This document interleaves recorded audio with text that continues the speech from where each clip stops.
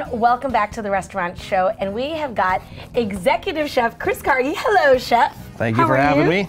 From Black Marlin over there um, in Palmetto Bay Marina. And you are going to bring um, onto the show right now the Frogmore Pho. The Frogmore pho. You are just taking all kinds of cultures and mixing them all together. It is. It's traditional uh, Vietnamese pho, Mm-hmm. and we're mixing it with a Frogmore stew, which is basically a low country boil. I love it. And I, and I recognize parts of it. And then you're going to put them all together. I love it. I love it. All right. correct. So what are we starting with? Because it smells delicious. so we're gonna start with our broth. okay. Uh, we're gonna get this hot. And now the broth is really the key to it all. The Absolutely. flavors that are in it. The broth, we start off with uh, veal bones, Okay. and spices are cinnamon, clove, uh, allspice, Three. mirepoix, Four. celery, onion, carrot, yeah. Right. Right. bay leaves, Love it. um, whole garlic, There's more. peppercorns. It's a lot. it is a lot. It's and a how lot. long does it take you to make it? Um, it takes a good couple hours, maybe two, three hours for Right. it to bring it up to a boil and back down to a simmer. I so- love it. And that's what we're smelling. Is that what I'm smelling? Is like the cloves coming out and Absolutely. some of those spices coming out. Okay, so we take that broth and then where do we go with it? Okay, so we're gonna go to our low country boil. Uh, we're using oysters. Let me throw this off really quick. It- Sorry. There we go. Oh boy. Okay, so we're using the, uh, those are from the area? Fresh shucked oysters. Love it, Mhm. love so it. we're gonna poach them in the broth, as well as nice 1620 shrimp. Beautiful. Those are huge. That's Yeah. awesome. Now tell me about the oysters, because I know you guys have some events. While we're waiting that for that to come up, you have some events coming up. We do, we and do. oysters is the star. It is. Aside It's my, from it's my favorite time you. of year. um, we get, uh, we're having oyster roast. okay. Uh, October 10th.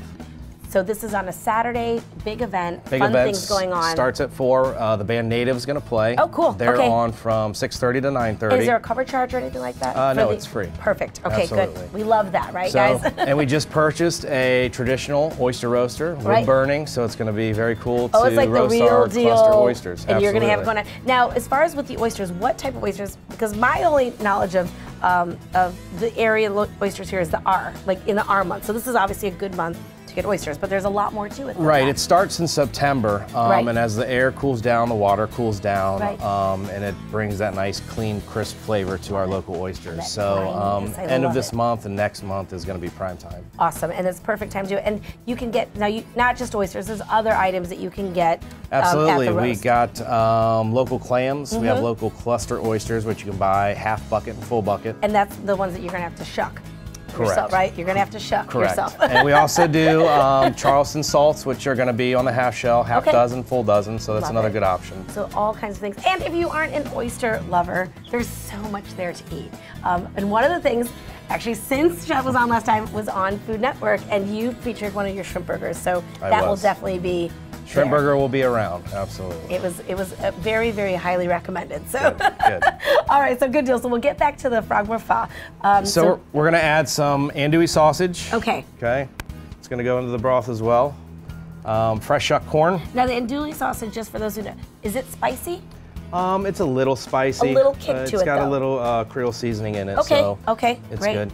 Um, we've actually stewed down some collard greens and some bacon. So this is, I mean, all these parts of it, they. It This is a low lot- country part. right? And it takes a lot of time and effort because the collard greens isn't like instant either. I mean, you have to put time and effort into that too. No, that, that's a whole other that's process. a whole other process. I So- love it. Okay, Um, we're gonna bring that up to a boil, and then we use rice noodles. okay, Uh, this dish is gluten free. perfect. Yeah, So- because everything in it. Yep, this is made out of rice flour, and we use gluten free soy sauce, so it's fantastic. completely gluten free. Now, um, you actually have a lot of gluten-free menu items. We do. This is one of our most popular. We also have our grouper Daufuskie, which is. A had that. It's pan-seared piece of grouper with uh, crab, andouille, and spinach crust. It's fantastic. Uh, over Parmesan, local stone ground grits, and lemon because the grits are corn. So That's there it. we go, peeps. So you don't have to worry about that. All right. So then we're gonna start. So this is the base of the. This is this is kind of like. So this is this is one big bowl. This is one big bowl of soup. Yes. okay. it's delicious. Love so it. these are part cooked. We're going to go ahead and add those to the broth and heat those up as well. Gotcha. Then we can talk about the garnish a Yes. little bit.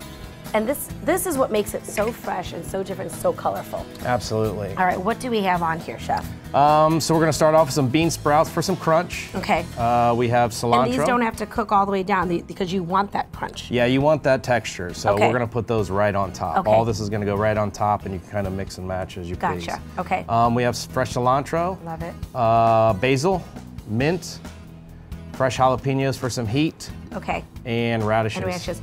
Now, if I don't want the heat, can I get it without the jalapenos? Absolutely. At the restaurant, we serve this at the, on the side, but here Oh, we're it gonna. actually comes like this on the side of your. Yep.